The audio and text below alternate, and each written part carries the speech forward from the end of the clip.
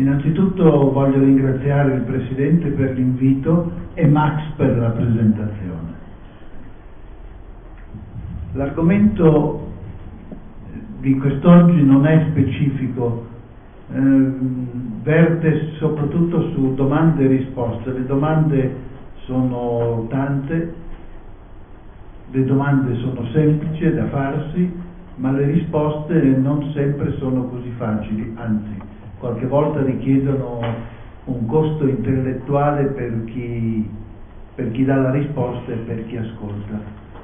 Non è facile interpretare l'insegnamento dottrinale del nostro maestro e sappiamo tutti che Sai Baba non proponeva una religione nuova, una filosofia nuova, ma si rifaceva ai testi antichi, alle Upanishad, ai Veda, al Brahma Sutra e alle interpretazioni di Shankara. Per poter, per poter dichiararsi devoti di Sai Baba, noi dobbiamo o avremmo dovuto rifarci a questi testi antichi soltanto perché Sai Baba voleva trasformare ciascuno di noi in un ricercatore della verità. Ma ricercatore della verità per Sai Baba vol, voleva dire anche esploratore, un esploratore dello spirito. L'esploratore è colui che si reca in un luogo, raggiunge la meta, raccoglie dei dati e torna indietro per spiegarlo agli altri. I dati che noi possiamo raccogliere provengono ovviamente dall'insegnamento del nostro maestro. Il Sai Baba si rifaceva quasi completamente alle interpretazioni di Shankara sulla Advaita Vedanta. La Advaita Vedanta deriva dall'interpretazione di un libro scritto da Vyasa, un mitico eh, avatar di Vishnu vissuto 2500 anni fa, e aveva scritto il, un testo che si chiama Brahma Sutra o Vedanta Sutra, 505 aforismi dai quali si è dedotta l'Advaita Vedanta. Per interpretare il Brahma Sutra si sono cimentati cinque avatar e sei con sei Baba e decine di discepoli. Voi immaginate quanto impegno avevano avuto per interpretare un trattato del genere e potete anche immaginare la pochezza delle risposte che io potrò darvi. Siccome le risposte possono essere inadeguate, eh, chiamo tutti a collaborare, tutti voi dovrete cercare di ehm, correggere o integrare le, risposto, le risposte che darò. Le risposte sono circa 18-19, qualcuno ha il testo forse che potrà leggere e abbiamo quanto? Due ore di tempo per... per... Anche di più, eh, andiamo al tratto. Eh, La prima domanda, c'è qualcuno che vuole leggere le domande? Va bene.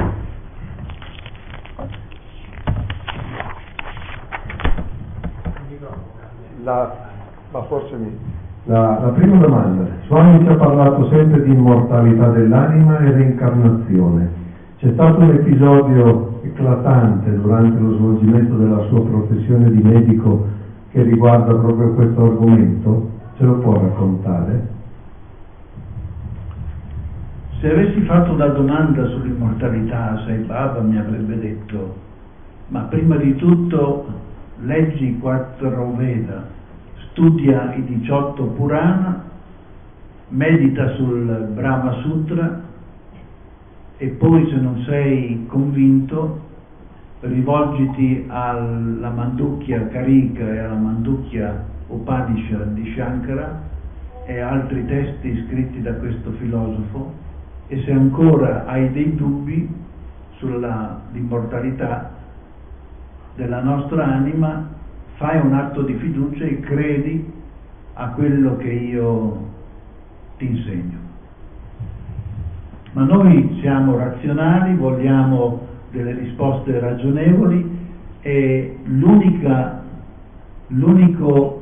elemento che possiamo, ehm, che possiamo trattare per stabilire l'immortalità dell'anima è incontrare le persone che ricordano delle vite precedenti. Recentemente noi abbiamo incontrato una bambina che ricordava esattamente eh, tutto quello che aveva fatto la bisnonna vissuta anni prima e che lei non aveva riconosciuto. La bambina riconosceva tutti gli oggetti della bisnonna, la loro funzione, ricordava i vestitini che portava e persino i nomi delle compagne di scuola. Però noi non possiamo basarci su questi ricordi per stabilire che l'anima è immortale. Innanzitutto in Occidente si è cannato sul concetto di anima.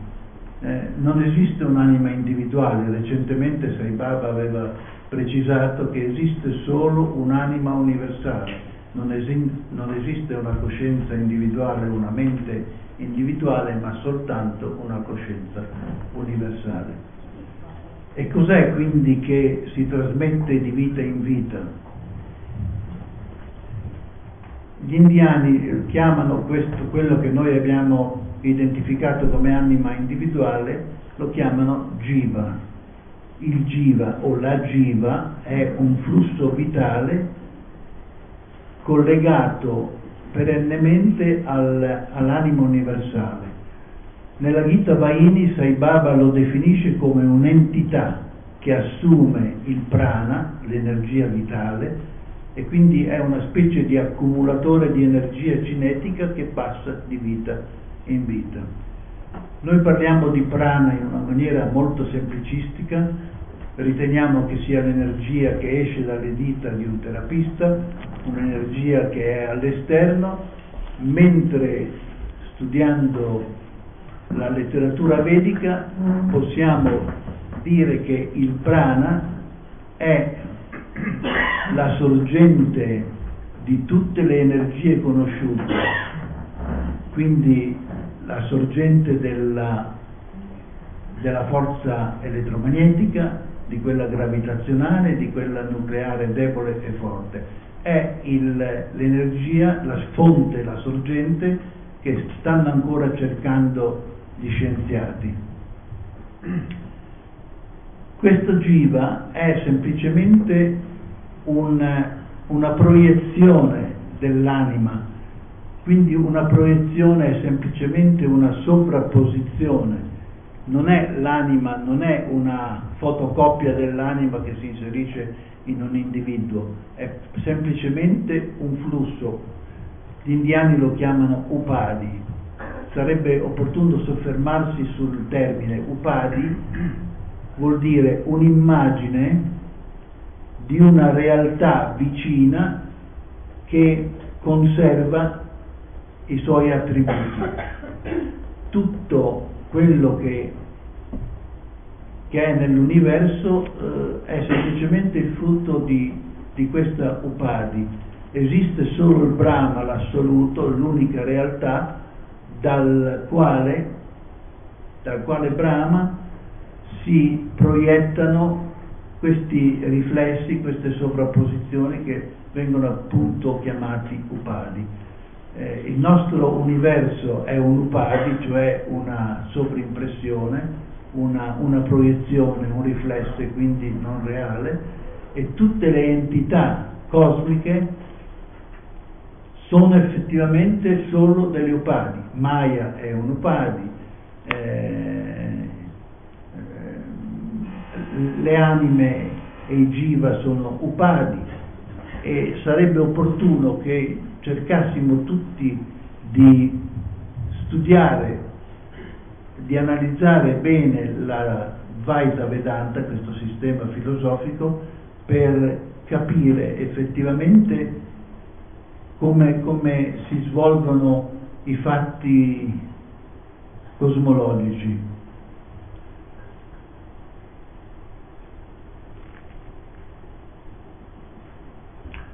Parlo dell'Advaita Vedanta perché effettivamente è eh, l'unico sistema che si identifica con, eh, con la scienza, con la fisica quantistica, è l'unica filosofia che viene confermata e supportata dalla fisica quantistica, cioè dalla fisica moderna.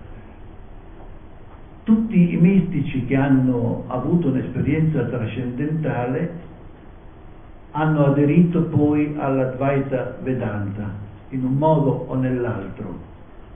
L'esempio più eclatante è quello di Ramana Maharishi, il quale ha avuto le sue prime esperienze a 17 anni quando non aveva ancora letto niente della lettura vedica e dopo fatto, dopo essersi illuminato, ha cercato di capire meglio la cosa leggendo proprio e aderendo all'Advaita Vedanta.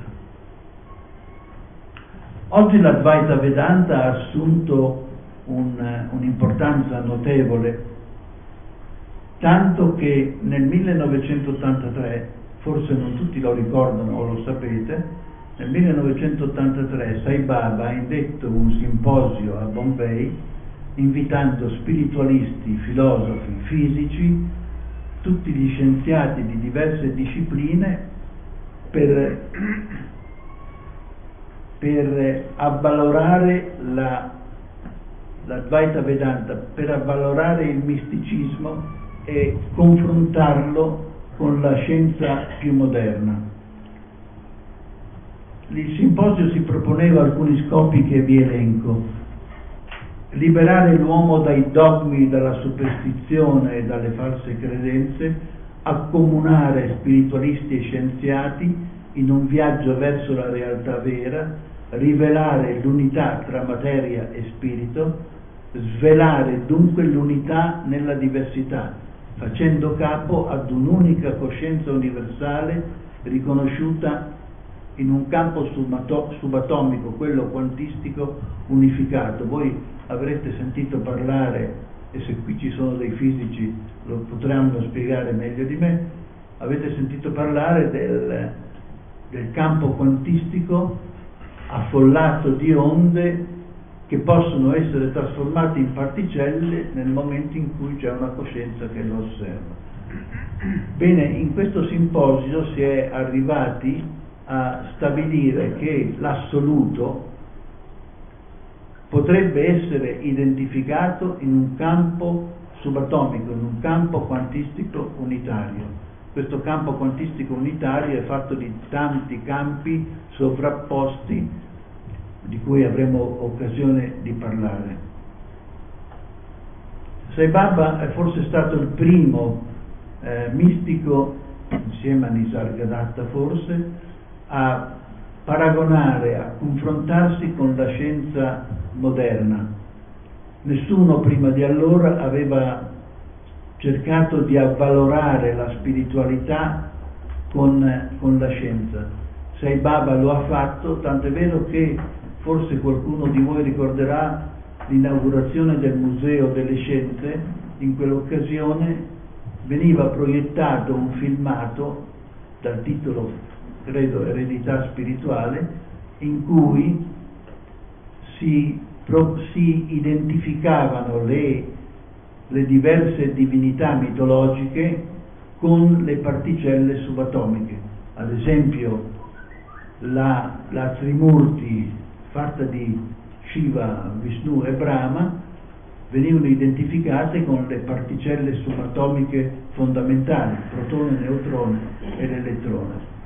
Nessuno di allora si era cimentato e aveva cercato di, di confrontare spiritualità e scienza.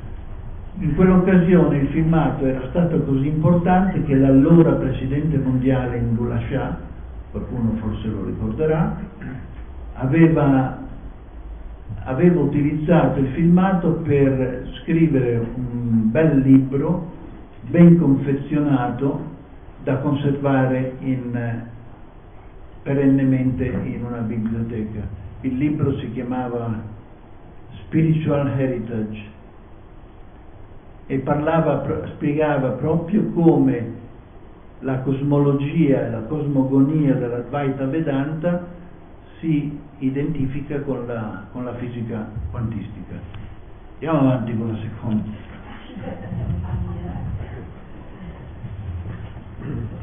Dopo più di 29, 20 anni di frequentazione, eh, centro con circoli di studio base, base a ripetizione del nome Gayatri e l'imprescindibile contatto vis-à-vis con l'avatar, può avere senso aprire per i devoti interessati un confronto metafisico, forse anche perché a furia di fare ABC, ABC, ABC, qualche temino sta venendo fuori, allegoria che vuol dire che forse riusciamo ad intendere a nuovi livelli insegnamenti di cui all'inizio non comprendevamo la portata, ad esempio bene e male non esistono, eccetera.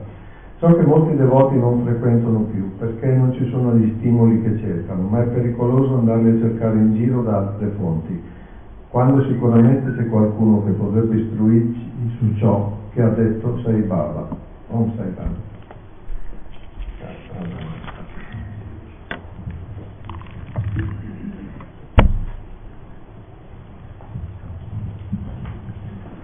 Di fronte al eh, irrazionalismo delle, delle religioni bisognerebbe proporre una, un razionalismo metafisico. Noi sappiamo che le religioni, e a mano a mano che andiamo avanti ce ne rendiamo più conto, sono, sono fantasiose, sia perché non vengono decifrate certe, ben decifrate certi concetti, sia perché il teologo è esclusivamente religioso e o non ha fatto l'esperienza trascendentale o evita di proposito per convenienza di prendere in considerazione la spiritualità. La spiritualità è completamente diversa dalla religiosità c'è un abisso tra l'uno e l'altro. La religiosità è soprattutto esteriorità, spesso idolatria, mentre la spiritualità è, è interiorità, è cercare la propria essenza. Quindi dovremmo proporre ai giovani o all'esterno questo razionalismo metafisico. Ma c'è qualche cosa di più che potremmo fare e che noi vecchi non abbiamo saputo fare, non abbiamo avuto il coraggio di farlo ed era quello la proposta che era stata avanzata nel 1990 dal presidente mondiale Indula in un convegno a Puttaparti era quello di suddividere, ne avevamo già parlato forse in precedenza, era quello di suddividere il centro in tre livelli, come fanno tutti, tutte le scuole filosofiche.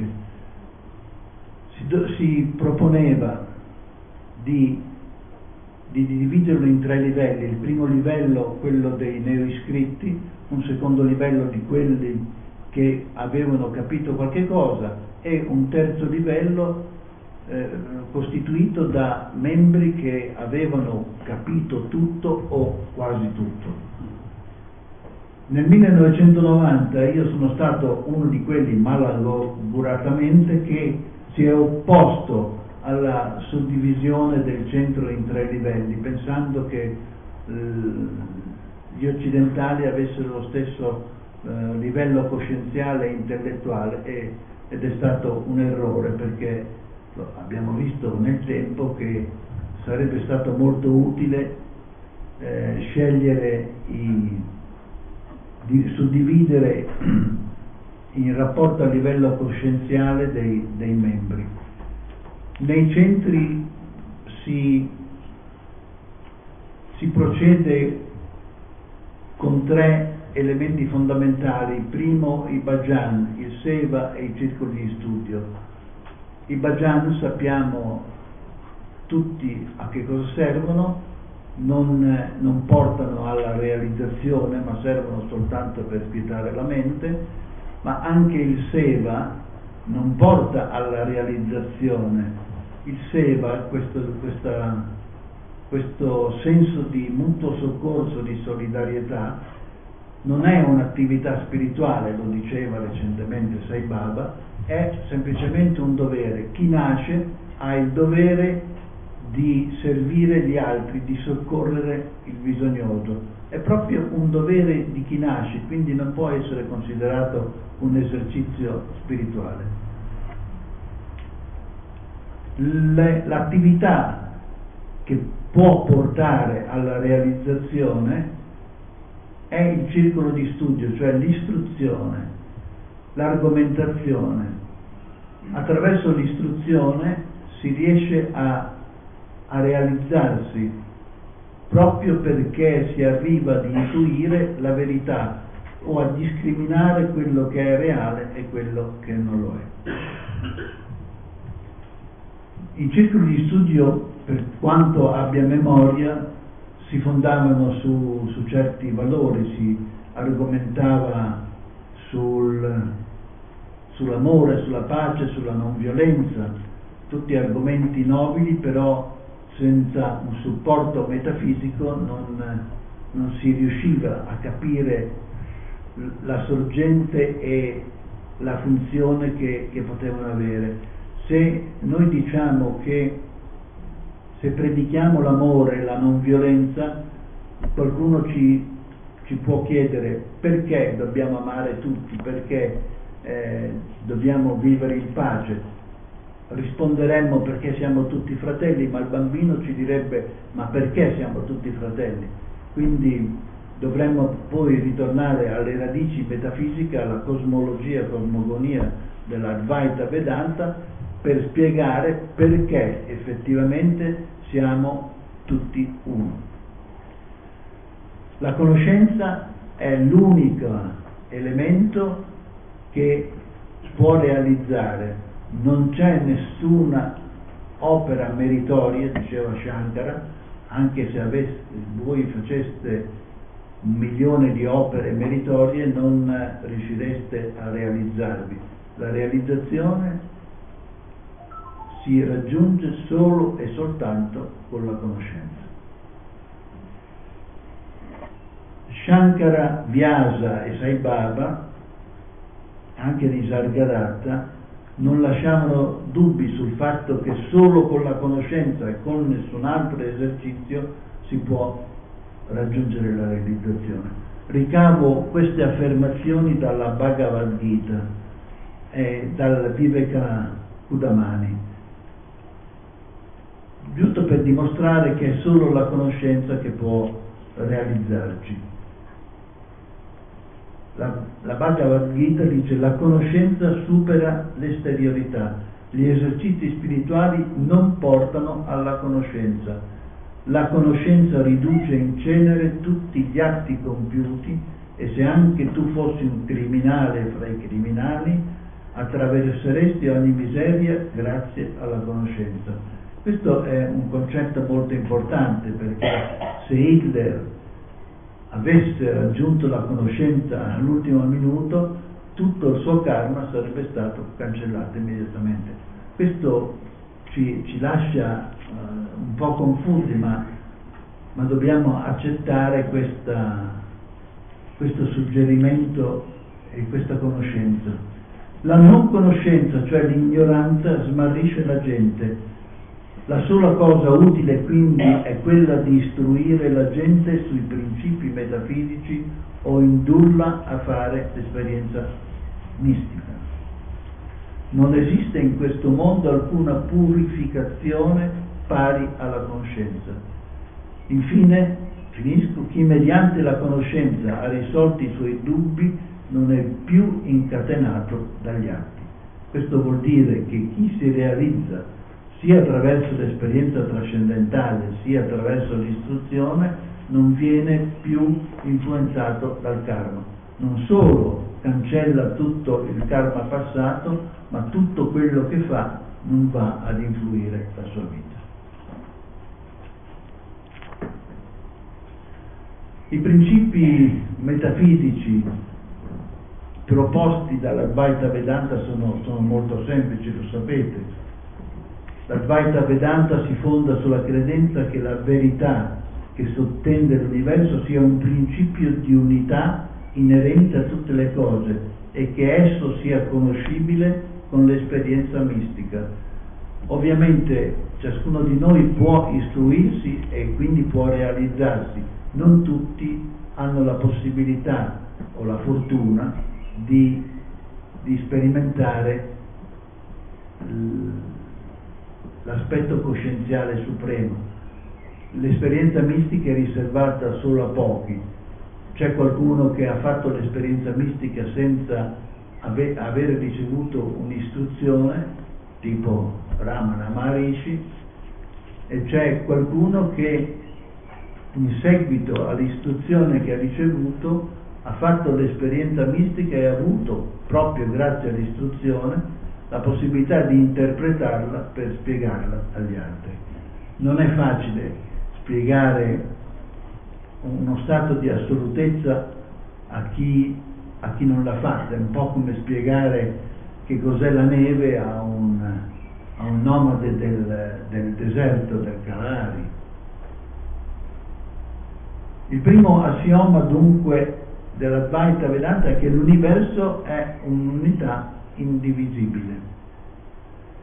Non solo, ma che tutti gli elementi dell'universo possiedono il tutto, cioè nell'elettrone noi abbiamo, abbiamo l'intero universo, nel piccolo c'è il grande, ma la cosa proprio che sorprende è che in una piccola cellula, in un piccolo atomo, ci sia la memoria di tutto l'universo.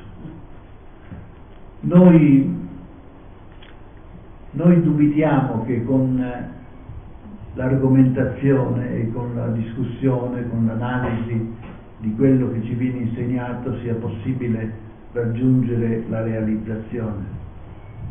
Però se pensiamo come eh, Aurobindo ha raggiunto la realizzazione, ci rendiamo conto che lo ha fatto semplicemente eh, riflettendo sulle cose che aveva letto. Altri discepoli di Ramakrishna si sono rea- realizzati pur non avendo fatto l'esperienza trascendentale e non dobbiamo sottovalutare la possibilità di istruirci in in un certo modo. Per questo dico che tra tutte le attività del centro il circolo di studio è quello più importante. Forse qualche volta lo si trascura o si parla di, di, di cose mh, prive di, di, senso e di significato, mentre dovremmo proprio approfondire eh, certi testi come eh, quelli scritti da Shankara e soprattutto col Brahma Sutra. Il Brahma Sutra viene anche indicato come Vedanta Sutra, non so se qualcuno si sia cimentato con questo testo, che è difficile, ripeto, se, se 5 o 6 avatar si sono cimentati per interpretarlo, vuol dire che non è così semplice.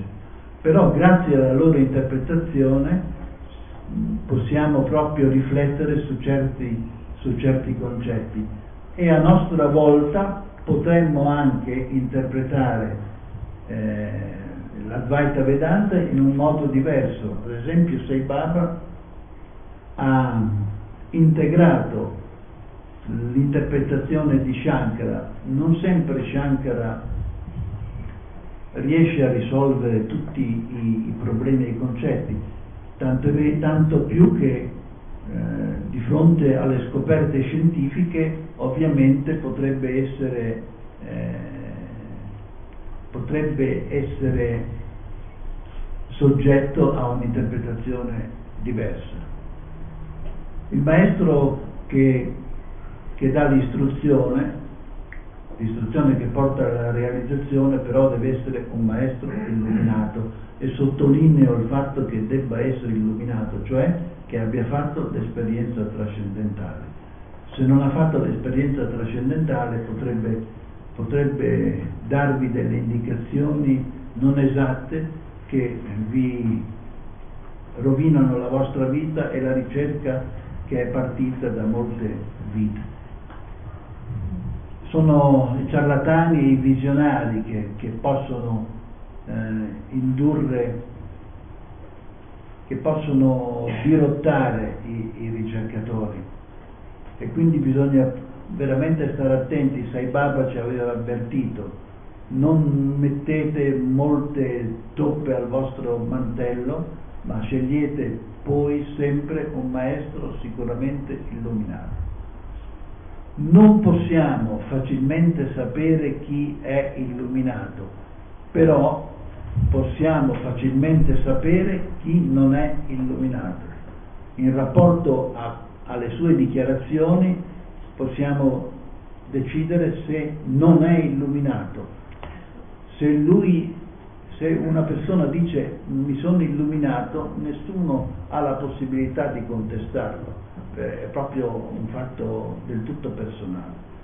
Mi riferisco poi a certi santi cattolici di cui forse sono stati fatti dei circoli di studio, che erano grandi devoti, ma sicuramente non avevano fatto l'esperienza trascendentale.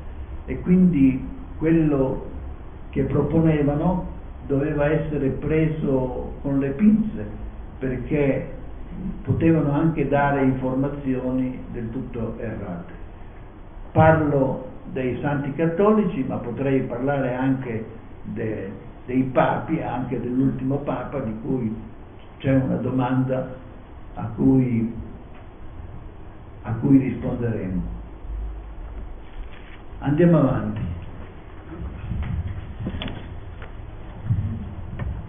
Vana parla di unità. Come mai tutt'oggi c'è una continua lotta tra organizzazione e non? Qual è la sua posizione e quale secondo lei il piano che sai poteva avere al riguardo?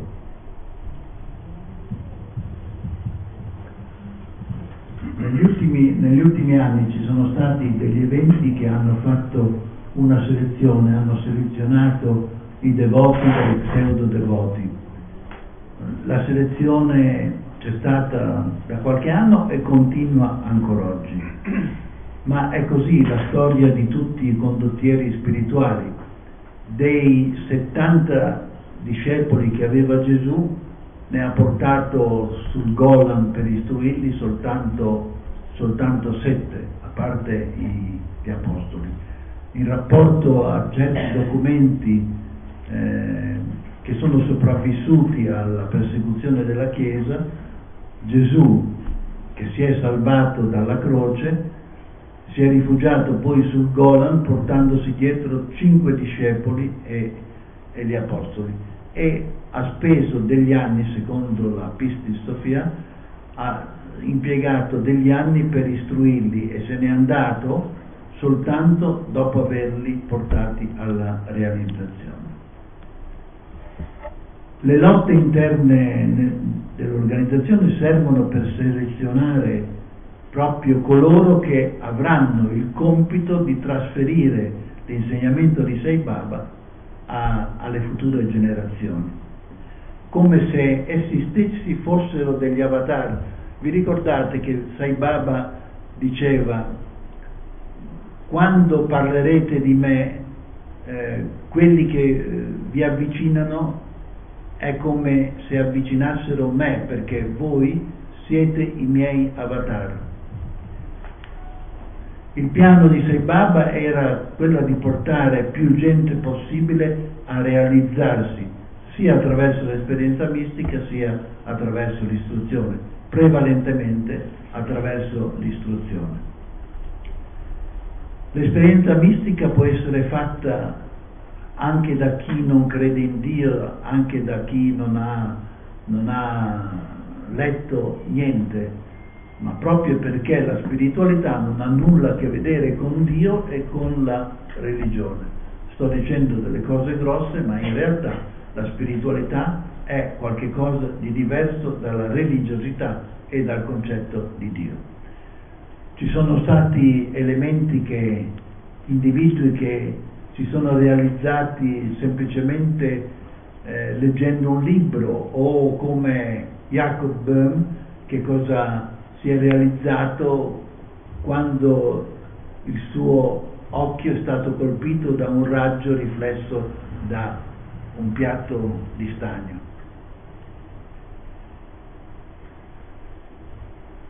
Ma insisto molto sul fatto che la realizzazione si possa raggiungere con l'istruzione. Io penso che in questi anni non si sia dato molto peso all'istruzione,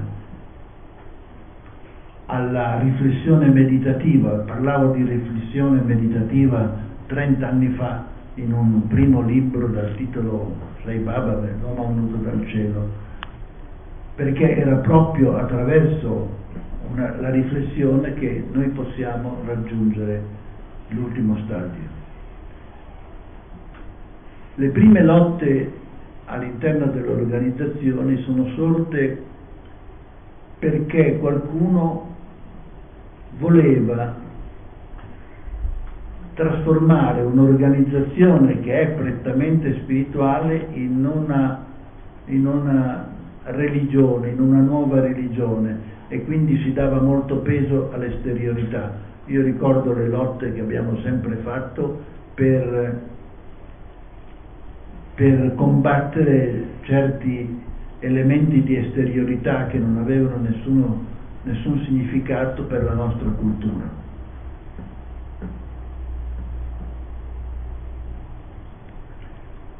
E certamente queste lotte si sono fatte perché non abbiamo capito fino in fondo l'insegnamento di Sai Baba. Sai Baba parlava di unità ma parlava anche di un rispetto per tutte le credenze e le culture del mondo, per cui non, ha, non faceva alcuna differenza tra il cristiano, il musulmano il buddista, riteneva che tutti avessero, riteneva giustamente, che tutti avessero la stessa essenza e avessero poi il diritto di raggiungere la medesima meta.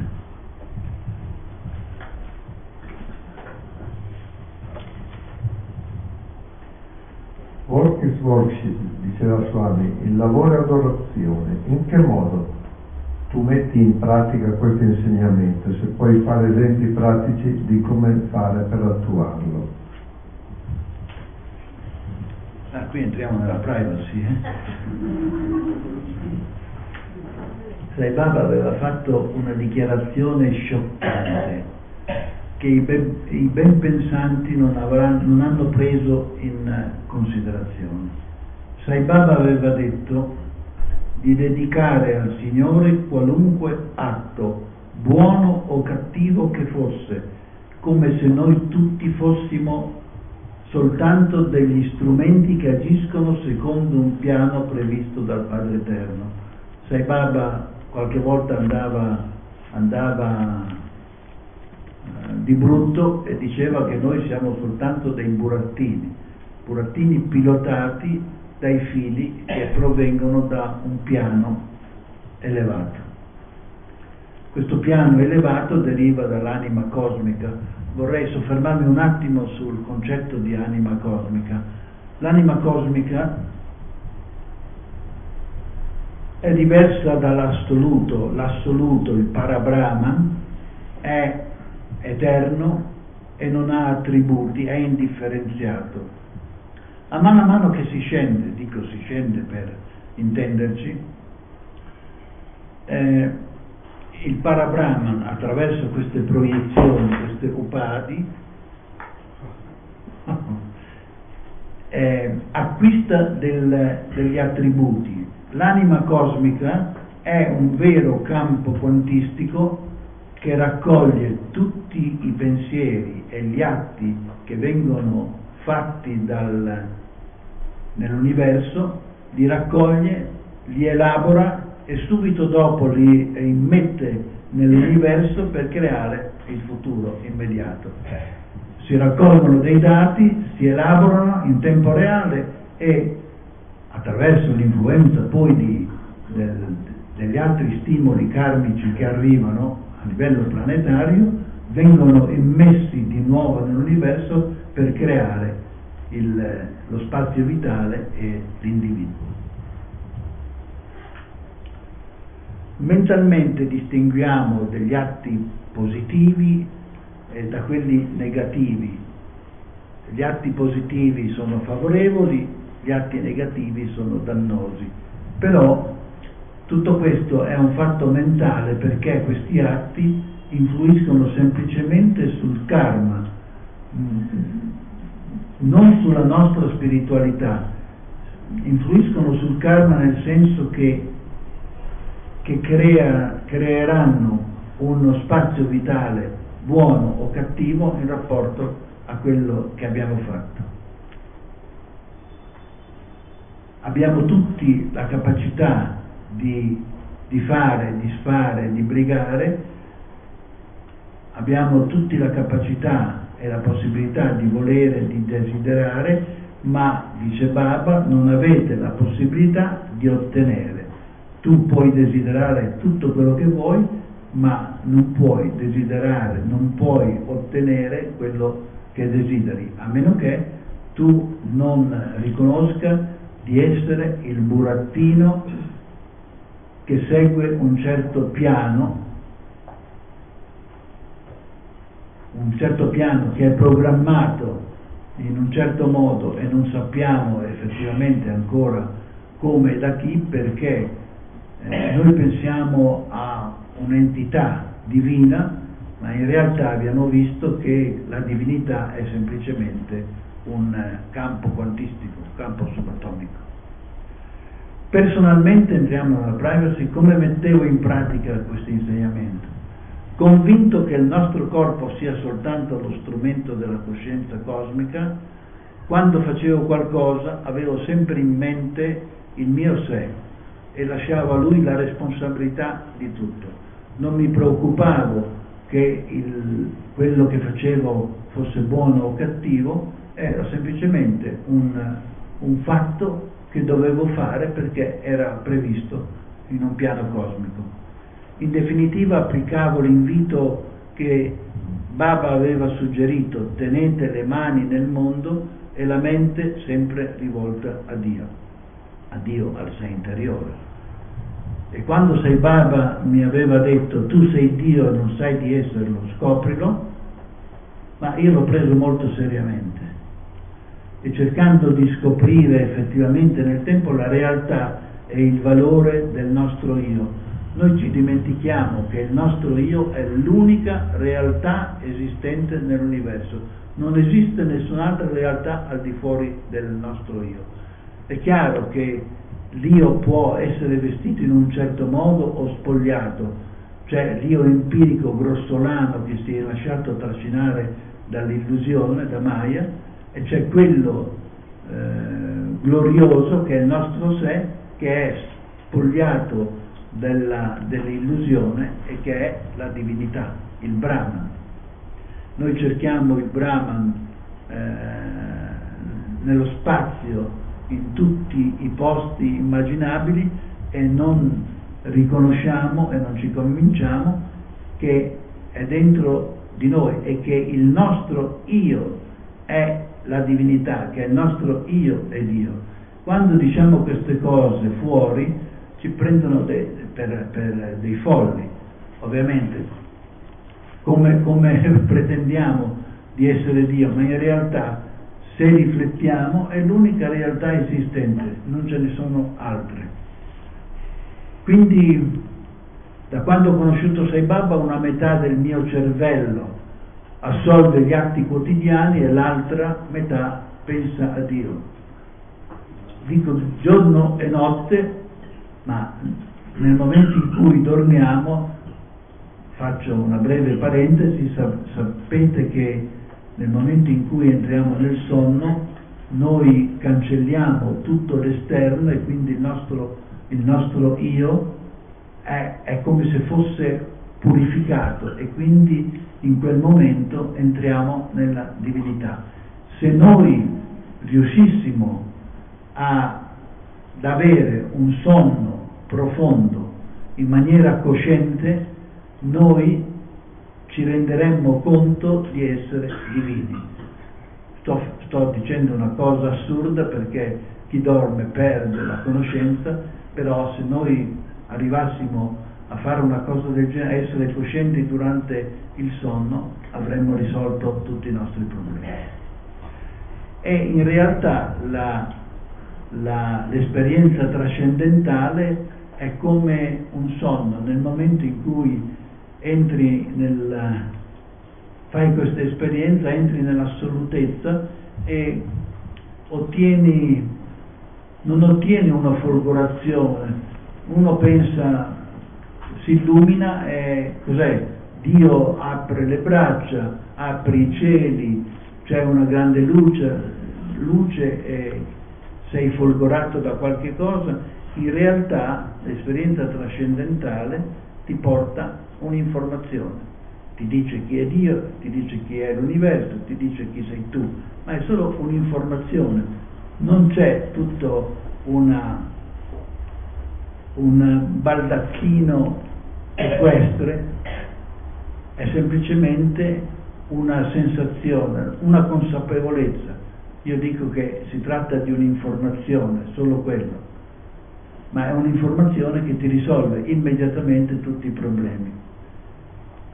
Era, c'era un mistico sufi che diceva, sempre a proposito dell'istruzione che può dare il maestro, che l'istruzione che riceviamo da un maestro vale quanto 200 anni di studio. Noi potremmo studiare per 200 anni, ma in poche parole il maestro illuminato ti, ti dà la soluzione.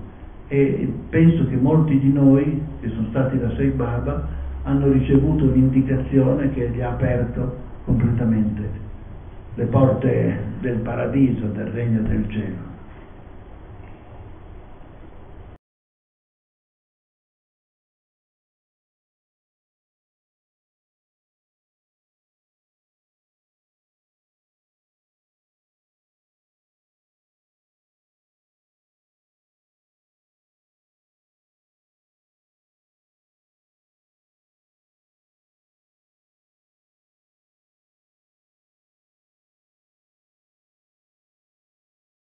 Sai Baba in tempi non sospetti era andato nel Kashmir a Srinagar e aveva visitato la tomba di Gesù.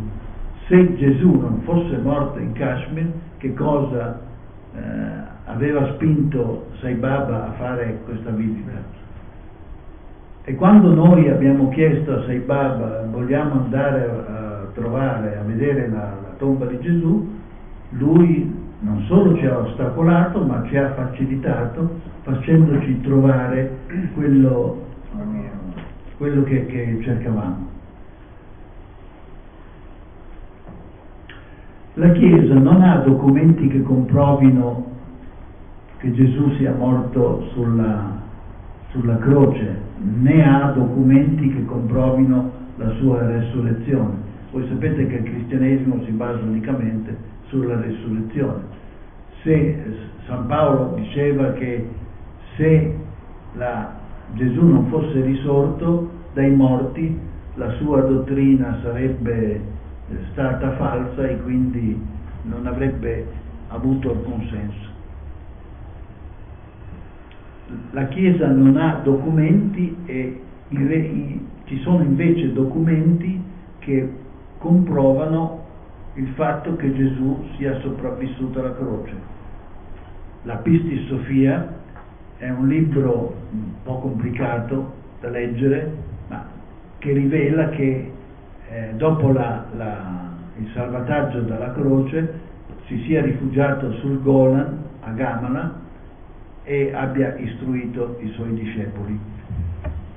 Gamala, situato sul Golan, era una cittadina chiamata la città dei Nazareni, che era stata distrutta dai romani dopo un violento assedio, un lunghissimo assedio e un violento attacco, l'aveva distrutta completamente e 900 persone, pur di non cadere nelle mani dei romani, si erano gettati da, dal dirupo.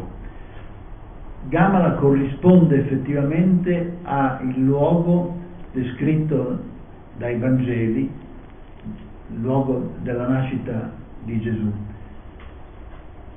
C'è un, un testo che contestava delle eresie scritto da ves- da Tertulliano, vescovo di Lione mi pare, in cui ha, si, è pro, si è premurato di cancellare il nome della cittadina e il nome del monte in cui si era rifugiato Gesù e in cui si riunivano gli apostoli prima di prendere qualunque decisione. E effettivamente la cittadina era chiamata Gamala ed era la città dei Nazareni. Nazareni era una setta come i farisei, i sadducei, eccetera. La Chiesa, essendo stato completamente distrutto, la Chiesa è stata costretta nel 400 a ricavare una nuova Nazareth a pochi chilometri dal lago di Tiberiade, che però è in collina, mentre mentre nei Vangeli si parla di un monte, monte del Golan, situato a 8 km dal lago di Tiberiade.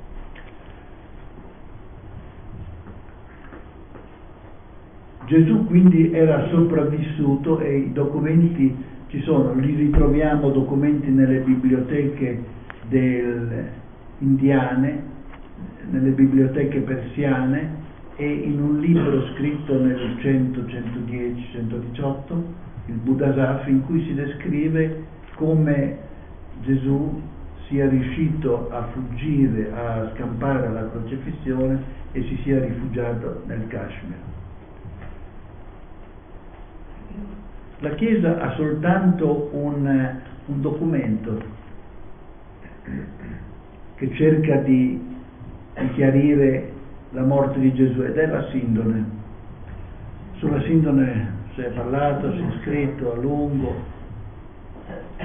ma è sicuramente un falso, non tanto perché i quattro laboratori che hanno analizzato hanno detto che, che è un telo che proviene dal, dal 1200 e che probabilmente, secondo certi studiosi, era un mantello dei templari, ma la, quello che taglia la testa al toro è il fatto che Gesù era alto 1,46 circa, struttura minuta, probabilmente aveva un gibbo, una gobba, probabilmente da, dovuto ad una scoliosi, quindi era minutino, mentre la struttura dell'uomo della sindone è è massiccia, è 1,80, 1,82, di corporatura robusta. Il fatto che Gesù una, avesse una corporatura minuta fa pensare che ovviamente non, non fosse l'uomo della sindone. Papa Voitiva lo chiamava l'uomo della sindone, non, non parlava di Gesù, eh, era un po' più prudente.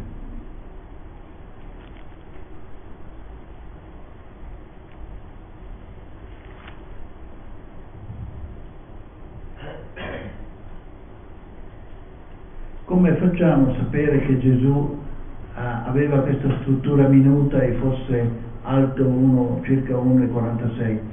Ma prima di tutto Gesù era un palestinese della Cisgiordania, mm, l'altezza era quella di 1,60 circa, però avendo avuto questo gibbo, come descrive lo storico Celso, lo rendeva eh, un po' più basso, tanto che nel Vangelo si legge che quelli che volevano vederlo si dovevano alzare in punta di piedi o andare su un, qualche cosa di sopraelevato perché eh, scompariva tra, tra la folla.